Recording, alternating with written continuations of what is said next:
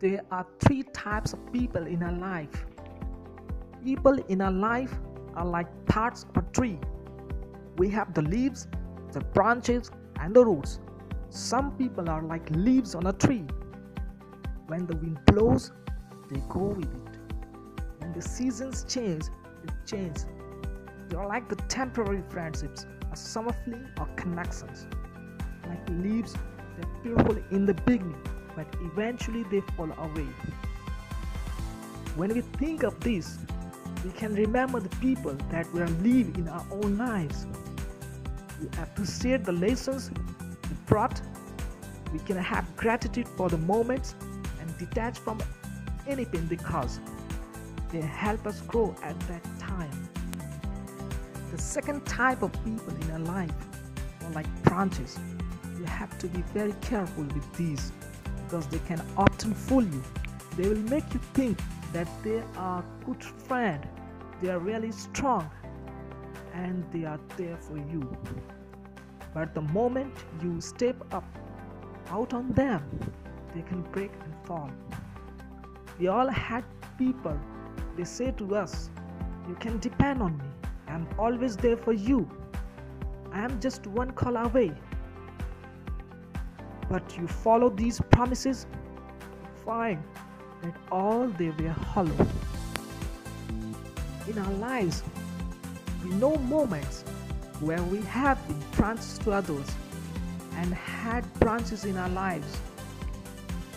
Often we have made promises a lot and not been able to live up to it because of our own shortcomings, and the same is true for others. This allows us an opportunity to become more honest with ourselves and more honest with people around us. Then, the third type of person are those that are like the roots. People who are like roots of a tree are permanent. Friendships who go everything, go through hell and back, and go from it, and still stand strong. As friends worth keeping. A good friend knows all your best stories, but a best friend has been through them with you. A tree in its lifetime can have millions of leaves, hundreds of thousands of branches, but a few roots down at the bottom to make sure it gets everything that it needs. When you got some roots, hold on to them.